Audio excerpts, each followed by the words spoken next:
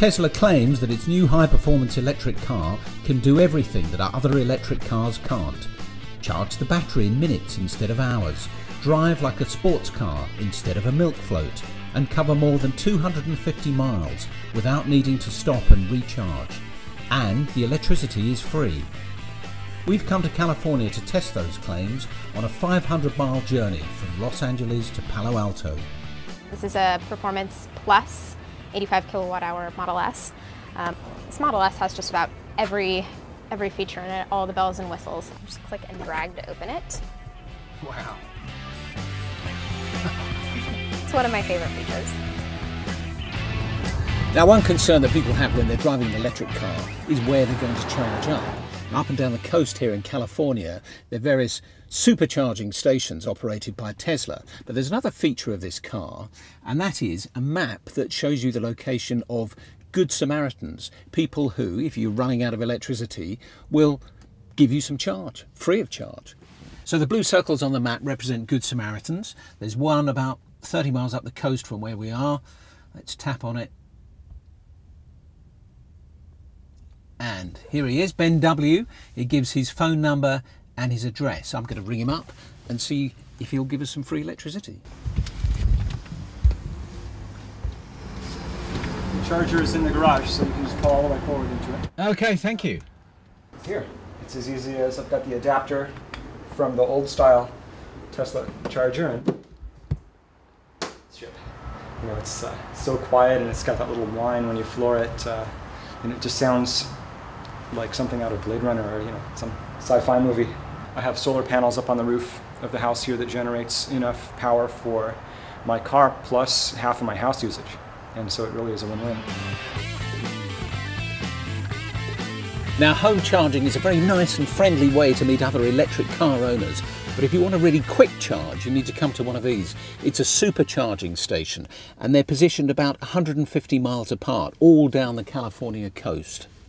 Now, charge for one of these stations takes about 20 minutes to give you about 130 mile range. And all you do is open the flap, put it in, away you go.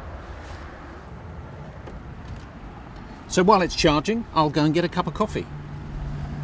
What's happened to the Californian sunshine? I think that needs supercharging too.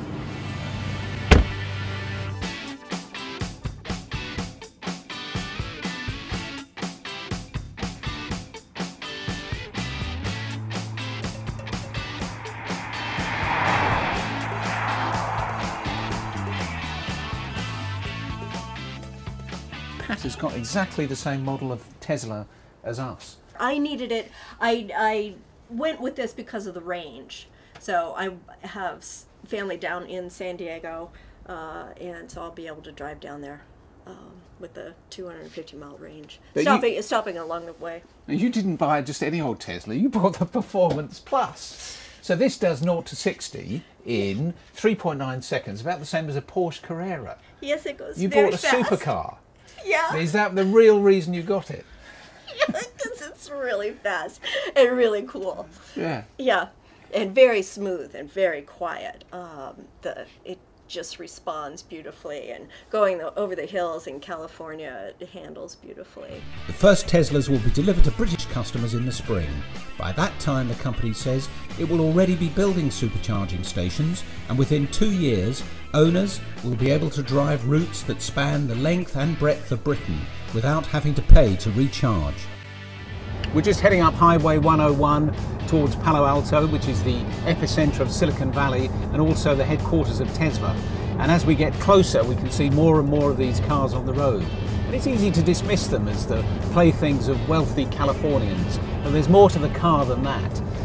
They're a bit like the first fax machine or the first mobile phone. It's first generation technology, but you can see that you're in on the ground floor of something that's very new, interesting, and likely to catch on. After all, lots of other things started on a relatively small scale on the west coast of America surfing, coffee shops, health food, jogging, and a little company called Apple Computers. And we all know what happened to that.